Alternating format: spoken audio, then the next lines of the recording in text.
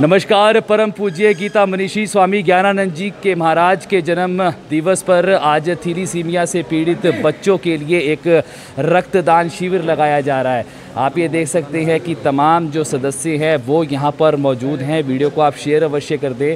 हरियाणा के करनाल से इस वक्त हम आपको तस्वीरें दिखा रहे हैं, जहाँ पर सुबह से ही लगातार जो डोनर है, वो यहाँ पर पहुँच रहे हैं। और करनाल ही नहीं, करनाल के अन्य ज़िलों, हरियाणा के अन्य ज़िलों में भी इसी तरीके से हरियाणा हो, पंजाब हो, इसी तरीके से रक्तदान जो शिविर है, वो यहाँ पर लगाया जा रहा है। काफ़ी लोग इस वक्त हमारे साथ मौजूद हैं। मुख्यमंत्री के जो प्रतिनिधि है, संजय बटला जी, वो हमारे साथ मौजूद है, बात करना चाहेंगे। बटला जी, आज यहाँ पर पहुँचे हैं, क्या कुछ कहना चाहेंगे?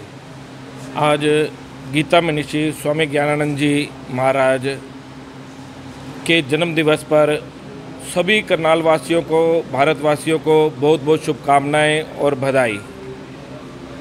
पिछले लगभग 26-23 वर्षों से स्वामी ज्ञानानंद जी के जन्म दिवस पर करनाल में इसी प्रकार रक्तदान शिविर लगाया जाता है।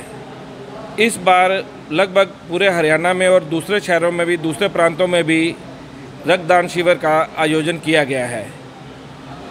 स्वामी जी के जन्म दिवस पर ये रक्तदान जो शिविर लगाया जाता है, थैलसीमिया के बच्चों के लिए है।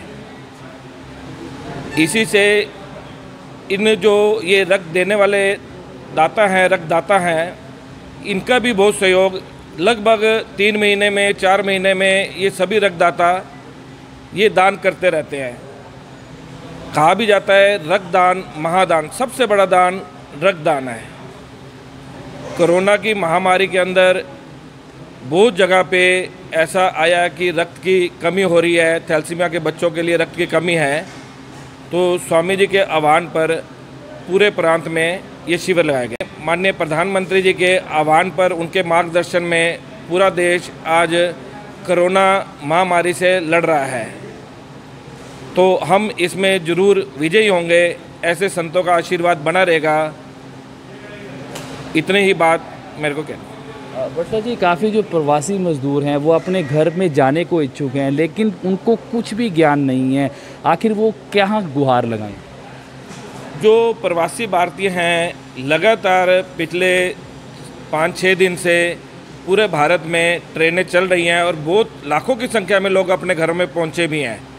हरियाणा से भी लगभग 35 से 40 ट्रेनें बिहार और यूपी और अन्य स्थानों पर गई हैं।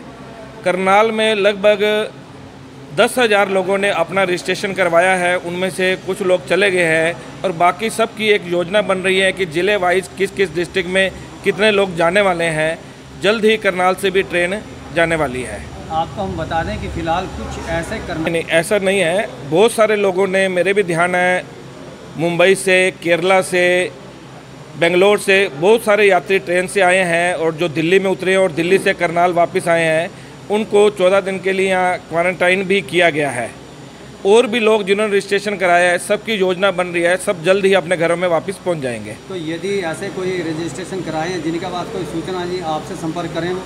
हाँ ज़रूर मेरे से भी संपर्क कर सकते हैं प्रशासन से भी कर सकते हैं। 1950 नंबर है वहाँ भी संपर्क कर सकते हैं। उससे तो कोई संतोष संतोषजनक आंसर नहीं आता नहीं नहीं बहुत लोगों को मिला है फिर भी अगर आपको लगता है वो किसी से व्यक्तिगत भी संपर्क कर सकते हैं। मेरा नंबर भी सबके पास है ही है। बता ही दें। Nine eight one two three double one nine seven four एक बार दोबारा। अठा को दोबारा से बताना चाहूँगा कि गीता मनीषी स्वामी ज्ञानानंद जी महाराज जी के जन्मदिन पर आज यहाँ पर रक्तदान शिविर लगाया गया। आप ये देख सकते हैं काफ़ी डोनर यहाँ पर पहुँच रहे हैं और भी मेंबर हमारे साथ जुड़े हुए हैं। इनसे भी हम बात करना चाहेंगे। सेक्टर तेरह से वार्ड नंबर दस के जो पार्षद हैं उनसे बात करना चाहेंगे। सर क्या है?